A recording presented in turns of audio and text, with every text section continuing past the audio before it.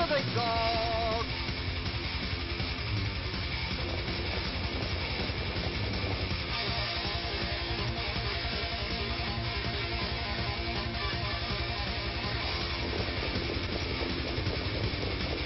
Three quarters and 124 and four. Niatros, he's great on top by four lengths. Hi, everybody, and welcome. Thanks for stopping by. We're beautiful Harrah's Chester, and we'll have an exciting half hour coming at you here of harness racing action. My name is Steve Ross, and this lovely lady to my left is Shannon DiAntonio. She's the racing analyst here at Harrah's Chester. And we have an exciting afternoon planned, don't we? Action packed, a lot of stuff to get to. All right, let's get right to it. First of all, we will see the final of the Maxie Lee Memorial 250,000 bucks on the line. Everyone figured to be a match race between Buck I St. Pat and Before He Cheats, but like many things that happen in this game, it didn't turn out exactly that way. As a matter of fact, anybody who bet a Colt Punch exactly with us too, wound up being very disappointed. Right. We'll go back in time to 1977 to Brandywine Raceway. And our feature is a blast from the past. And we'll have a look at one of the great ones, Rambling Willie, with Bob Farrington setting a world record, 1977 at the Big B. We'll also get this skinny from Sunny. Judge is going to talk to us about horse identification. A little bit more from Sunny coming up in the program. First, let's talk about the $250,000 Maxie Lee final held this past Sunday here at Harrah's Chester. Like you said, Tetrick's choice was the mare Buck I St. Pat, and the other second choice at three to that ended up going off three to two was Brian Sears and before he cheats. And they both drew the outside, so everybody wanted to know what was going to happen. And they didn't take them too long to find out once they came past the stands the first time. Tetrick pulls with the mayor. That's right. Well, the five two weeks notice was actually scratched, so they benefited by moving in a notch themselves. American Lane and the Catman Cayenne Turbo and Andy Miller both leave as expected to set up 1-2, and the mare Queen Serene does make a costly break right at the start of the race. Tetrick and Sears both on closers. Let's take a look at the action. Here's James Witherite Rig with the call of the race. Off and trotting in the Maxie Lee, an American Lane left well from the center of the track with Cayenne Turbo. Beechnut Brand is up close, and Queen Serene made a break in stride just after the start. Queen Serene is on a break going into the first turn. It's American Lane in front by a length and three quarters from Cayenne Turbo, second by two. Beechnut Brand is just off the speed. Man About Town is mid-pack and five lengths off the lead. Next in line is the favorite Buck I St. Pat. It's two lengths to before he cheats. And the distant trailer after that early break is Queen Serene. She's back trotting. The opening quarter was 27 and 3. They come past us for the first time, and it's American Lane dictating the terms. The lead is a length and a quarter from Cayenne Turbo, who's alertly tracking from the pocket spot. Beechnut Brand is an up close third. Man About Town, four lengths off the lead. And Buck I St. Pat moves out from fifth, tracked by Before He Cheats. And it's well back to Queen Serene.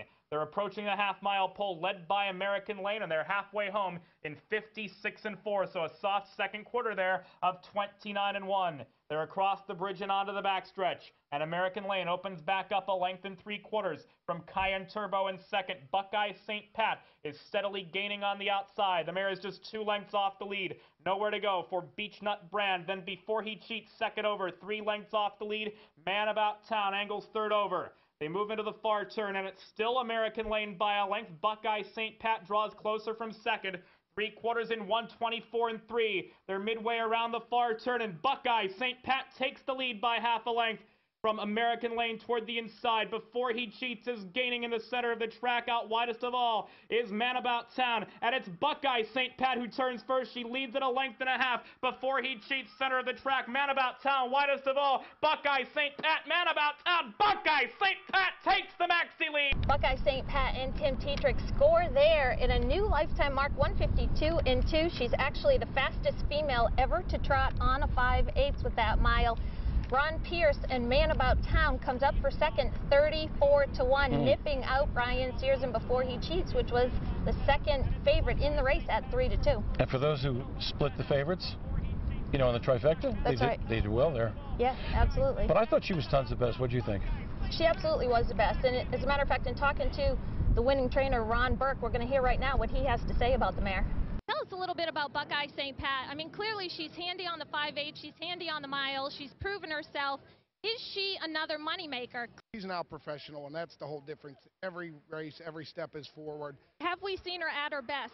I mean, she's gone a 152 and 2 today. She's impressive every time she hits the track. Have we seen her at her best, or do you feel she gets better each week? No, I think she gets better. You know, she's pretty special, and uh, she's just a really good athlete. You know, she's a little bit better on the small track than before he cheats, and she's really on top of her game right now. And uh, thank God she, you know, performed well in that race. Now, in that race, it appeared that because you came first over, you got the worst of the whole tri trip.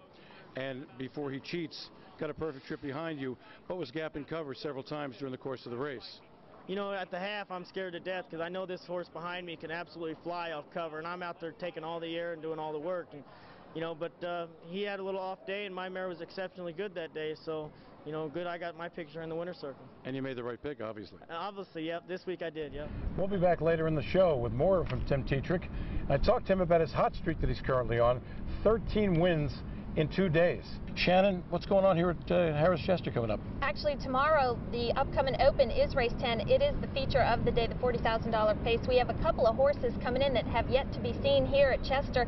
My Panmar, who finished second in the Levy, the special report, Mhm. ships in for the first time. And also Boulder Creek, he's actually the track record holder from last year, 48 and 3, makes his 2008 debut right here on tomorrow's Open. Hasn't he made about $3 million? Over 3 million. He's versus. a two-time Breeders' Crown champion with over $3.2 million in career earnings. That's right. And he was just bought this past January at the Meadowland sale for $185,000. New connections debut him right here this Sunday. Wow. When we come back after the break, we'll have a look at the Hempt Memorial Final. Big money right here. Don't go away.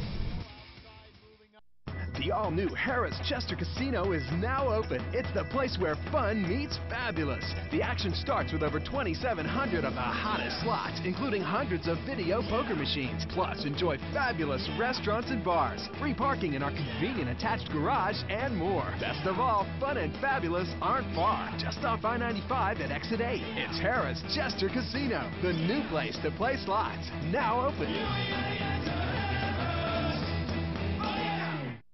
One breeder has had more winners than any other. One breeder has produced the most world champions. One breeder has held the record for earnings since records have been kept. One breeder has dominated the industry with the top stallions, the best broodmares, and the most sought after yearlings. Hanover Shoe Farms, the greatest name in harness racing.